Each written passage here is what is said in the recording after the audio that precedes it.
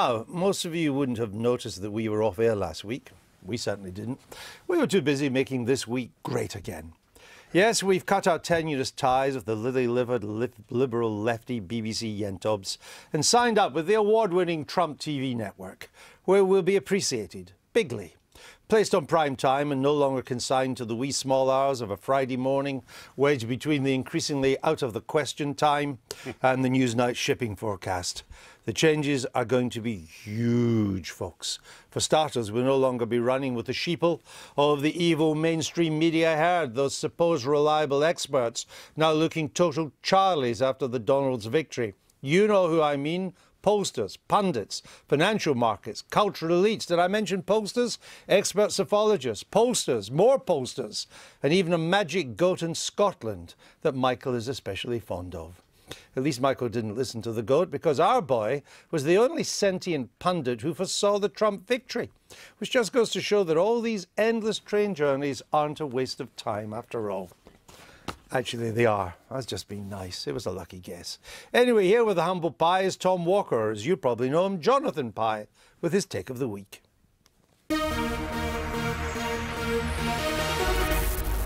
Morning, Tim. Morning. Howdy. How was Washington? 18 months ago, I was an unemployed actor struggling to pay my rent. I had two options, become a political satirist or go on the game. I chose the former. And so, fake news reporter Jonathan Pie was born. Trump, the pussy-grabbing, wall-building, climate-change-denying, health-care-abolishing, tax-dodging, shit-spewing demagogue. How shit have you got to be to lose to that?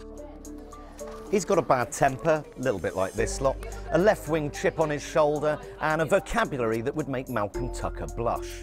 He's a political correspondent who can't talk about politics without getting angry, and that is the basic comedic and satirical conceit.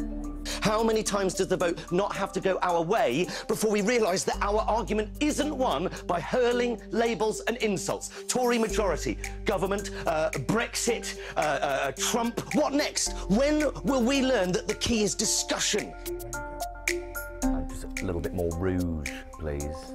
Thanks. Like Pie, I was surprised and disappointed with the UK referendum result, but following it, I watched as some of my friends, many of them self-proclaimed liberals, went on social media declaring, if you voted Leave, unfriend me now. The narrative from my Facebook feed was that anyone that voted Leave was a racist, bigot, and most definitely stupid.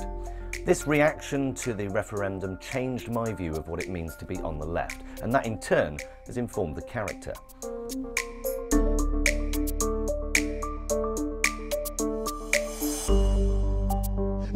That voted for Trump is a sexist or a racist. Some of them are, but most aren't. Most people didn't vote for her, not because she's a woman. They didn't vote for her because she offered no palpable change whatsoever. Pie argues that to simply label the majority of Trump voters as sexist or bigoted just isn't helpful and doesn't help to advance the debate. If anything, it shuts the debate down, and that can be dangerous. How do you think people are going to vote if you talk to them like that?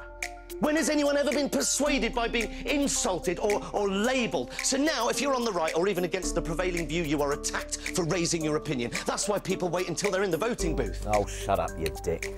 The piece has sparked much debate. It's also ruffled a few feathers. I'm not surprised the character is dogmatic and self-righteous, which is why he's so much fun to play and hopefully so much fun to watch. But the main objection that I've heard again and again coming from the left is this, that I cannot possibly understand the impact of Trump's victory, especially on minority groups, so I should probably just keep quiet. And the reason? Because I'm a straight white male. Donald Trump. The left is responsible for this result because the left have now decided that any other opinion, any other way of looking at the world is unacceptable. The irony is, is that rejecting Pie's argument on the basis of identity politics reinforces the very point the piece of satire was attempting to highlight. That by dismissing someone's opinion or vote by using labels such as sexist, racist or stupid or even straight white male, you're more likely to lose an argument or an election that might more easily have been won through engagement and debate. No imagination or expense spared with allocations this week. That's our newsroom. Jonathan Pie, I mean, Tom Walker's with us now. Welcome to the programme. Pleasure to be here. Michael, why did Trump win? because a lot of people in America were fed up and angry and hadn't had a pay rise for a very long time and felt that they were the victims of, of globalization. Uh, and also, a lot of people hated uh, Hillary. Is it the left now in crisis? Well, it doesn't have to be. Um, but is it? uh, I'm not sure yet. Um, I think people are still coming to terms with what's happened. I think he he won because he had a very simple, clear message that connected with people emotionally and with their concerns about jobs and security. And I think, you know, I was a big Hillary supporter, but I think she she didn't have that kind of message of being a change candidate. But she couldn't be the change candidate. She was the establishment candidate. But what's interesting is actually her policies of huge investment in infrastructure, tax rises That's on the rich and too. childcare were, were very different from previous candidates uh, from the left. But I think the big lesson for the left here is you can never ever take your voters for granted. Demography isn't destiny, and that's what I think we learnt in this election. Why is the mainstream left, from France to Britain to the United States, losing the support of the traditional working class? Uh, because I mean, as I think I point point out there, or b- b- because I, I think that uh, uh, oc- occasionally the the working classes, you, you, you know, I talk about there about about identity politics, and and, uh, and and some in some areas of the left, th- that is the main point of Yes. identity politics. Now, if you're poor and disenfranchised, um, when you walk into a voting booth, y- you. Um, the- issues of uh, identity politics aren't actually at the forefront. It's about social. Uh, uh, it's it's Your economic. circumstances, Absolutely, absolutely. opportunities for your kids. Without a doubt, and and and. Um, it, th- those, those sort of issues aren't important to you. Yeah, you, you, you want to provide for your Oh. children. The idea that, that everyone that voted for Trump is a is a sexist or a racist or a misogynist. No, what what people are trying to do is actually provide for their family and provide for their for, for their Hasn't children. Tom got a point there, Liz? Hasn't the left become too obsessed with identity politics? And, unless, of course, if your identity happens to be white working class. We do have an issue with our white working class vote. I mean, um, this is something I talked about in my very unsuccessful leadership bid uh, the last time round. And when I talked about the fact you were never going to give opportunities for our so-called traditional working class votes unless you um, address the underperformance of white working class boys, I was accused of dog whistle politics, including by uh, a former occupant on by- the sofa. And by the people who won. and and in, indeed. And the point is we cannot be afraid it's not that you have to agree with everything that's said. You have to listen and understand. If i knock on a door someone opens it and i rant at them they'll tell me go away i'm putting the tea on love. It's, you it's know you have to be able to it's about engagement, uh, and it's about engaging with people that uh, that you might think that Mm. think differently to you. And I think that's the point I'm trying to make: is that labelling someone. Uh, there was an article in the Guardian today that said that people that voted that why did women vote for Trump? And the Guardian's take on it was that well, women can be misogynistic too. and you think, well, you're shutting those people down. You're not talking to them. You're not listening to them. And, and I think that's really dangerous. It's about engagement. I think. I, I think this is what we're saying, but I just want to make clear that I think what's happened is that the left has moved away from the electorate rather than the electorate moving away from the left. So, for example, in this country, it was always the case that a very large proportion of Labour voters had quite right wing views. They were, you know, pretty right wing on things like immigration. And they crime were pretty, and- and crime, and they were pretty patriotic and so on. And, you know, old Labour characters like um, David Blunkett, for example, in Sheffield, who was, you know, really rather a right wing figure in many ways, perfectly understood his working class electorate. But it doesn't seem, for example, in a Jeremy Corbyn uh, administration or leadership, that there is much understanding of that electorate. And I think a similar thing has happened in the United States. I mean, it, it, you know, Hillary didn't find a way of talking to that part of the electorate that used to vote Democrat, but which could by no manner of speaking be described as left wing. And you I think that what happened in America has kind of crystallized things in, in a way, as America often does, because it's such a big place and things tend to happen uh, more clearly there. But, and I look at Hillary Clinton, or Ed Miliband, or Francois Hollande. and they show that there's now there's a huge cultural divide between the left leadership and working class voters. And for many people, the deplorables, as Mrs. Clinton called them, that cultural divide is now more important than class. Yeah, I, I- think that is true. One thing I would say is Jeremy has recognised that people on the economic issues, people feeling left out and left behind and not benefiting from globalisation. He's been very clear about that. But what the left does struggle is is with those social issues. You see in the Yes. States, I mean, people uh, he, feeling went, he went out of his way, didn't he, to say he wasn't going to control immigration. I think you're going to lose so many seats in the north of But it- England just on that one state. It's much wider than that. You know, certainly in the States, people who be, believe in faith, flag, and family feel that that is sneered at by the liberal Well, elite. they that do, but it's not just the liberal; it's the cultural elite. I mean, the thing that I noticed most of all uh, was was how the cultural superiority of the coastal elites. People just found it insufferable, and they rebelled against it.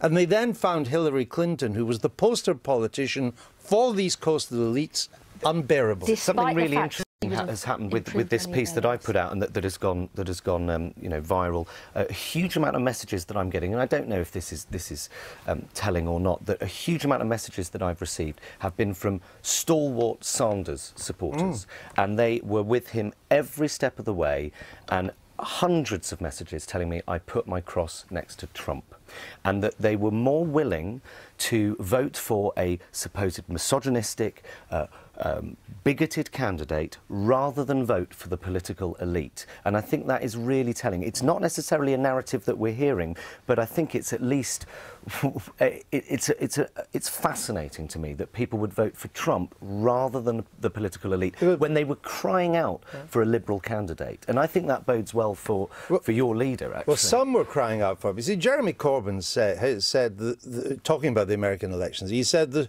the, the support of Bernie Sanders in the, that got in the US, the left parties in Spain, he says, where a clear alternative is offered, there is a buy-in to that. Well, here's the problems. Sanders lost. Podemos in Spain has produced the return of a conservative government. The French socialists are about Yeah. to be wiped out. Your party's lost Scotland. It could lose the north of England, and you could be out for a generation. So I don't understand where Mr. Corbyn's analysis Well, takes us. I don't believe that Bernie Sanders would have won. Um, you know, he didn't have a single attack ad thrown at him. Actually, one of his closest No. allies, Russ Feingold in Wisconsin, lost the Senate race by a greater margin than Hillary. And he, str- you know, if he struggled to get out the African American vote in the primaries, which is why he lost the nomination to Hillary in the first place, he wouldn't have got more out there. So I don't think that that is the solution. And trying to have this segmented approach where you appeal to one bit of an electorate rather than trying to find out what most people care about, which is a decent job, living, you know, growing up in security, having opportunities for your kids. This segmented approach won't work. It didn't work at the, last the, election. the won't work at the Republicans would have run attack ads against him, showing him praising Fidel Castro and bigging up Europe versus America. Mm-hmm. The idea that that was a winning formula. Does the left have a clue anywhere outside Canada? Uh, not that I can immediately think of. I mean, just, just to underline what's happened in Spain, it is true that there was a new left-wing party, but it, is, it has lost ground. The mainstream left-wing party, the Socialists, has, been, uh, has been beaten pretty badly, has lost uh, a million votes between one election and the next. And as you say, the right's in power. So no, it's, it's hard to think of where the left is doing well. Final I- word on that issue? I you? think that what the left need to do is is really introspective look at themselves and look where they're going wrong. And that I mean that means involves asking themselves some serious questions. Um, whether you agree with, with what I've put out there it's clearly resonated with with huge amounts of people.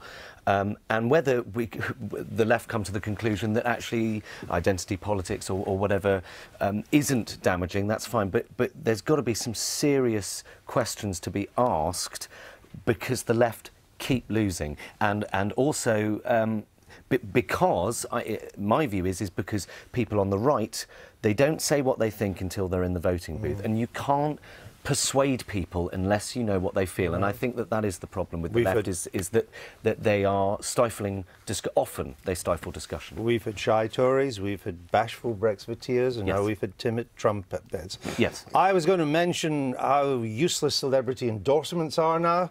Mrs. Clinton had all of them from TV, Hollywood, music. It only underlined the cultural difference. I was also going to mention, for a change, pollsters, and perhaps say that both the endorsements and the pollsters should be thrown in the dustbin together. But we've run out of time. But I think I managed to squeeze it in. Tom, thank you very much. Good Oh, to it's a pleasure you to be tonight. here. Thank you. you. Thank you.